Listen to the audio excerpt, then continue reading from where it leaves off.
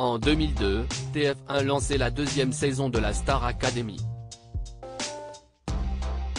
Au casting cette fois-ci, de nombreux nouveaux élèves dont Emma Doma, Nolwenn, la grande gagnante, mais aussi un grand dadais à la chevelure rebelle. Georges Alain. Loin d'exceller en chant, le jeune homme à l'époque âgé de 27 ans avait cependant réussi à conquérir le public grâce à son franc-parler et ses coups de colère mémorables couplés à une certaine nonchalance. Mais aujourd'hui, l'homme se fait discret. Devenu commentateur de ski et de snowboard pour Canal Plus International et MCS Extrême, il n'évoque que très rarement son expérience au château. Mais ce lundi 12 décembre 2022, alors qu'il était invité sur les ondes de Logo FM, l'ancien académicien a accepté de revenir 20 ans en arrière. L'occasion pour lui d'expliquer notamment pourquoi il ne souhaite plus trop aborder le sujet. Je ne renie pas le fait d'y avoir participé, si est factuel mais j'ai tendance à plutôt regarder devant moi.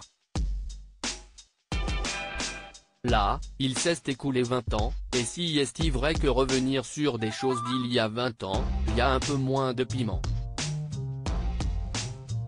Ça m'intéresse un peu moins. A-t-il déclaré au micro de Stéphane.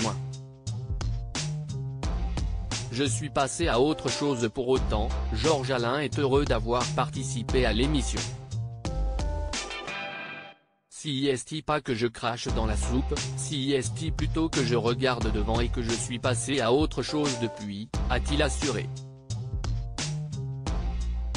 D'ailleurs, à la sortie du château, il a pu se lancer dans la musique et même sortir un album, intitulé New Jersey, qui a rencontré un petit succès. Malheureusement la suite se fera loin de la musique, à la décision même du jeune homme. J'ai pas vraiment joué le jeu sur le côté promotionnel de cet album, j'étais pas au bon endroit. D'un commun accord avec monsieur Pascal Nègre, on a compris que c'était des marches trop hautes pour moi et c'était pas mon environnement. J'avais besoin d'être plus libre que ça et si est vrai que quand on signe des contrats avec des majors, à juste titre on doit des comptes et moi, pour rendre des comptes, y a meilleur que moi, a-t-il avoué. Mais qu'à cela ne tienne, aujourd'hui, à 47 ans, Georges Alain est pleinement épanoui et a bel et bien tourné la page Star Academy.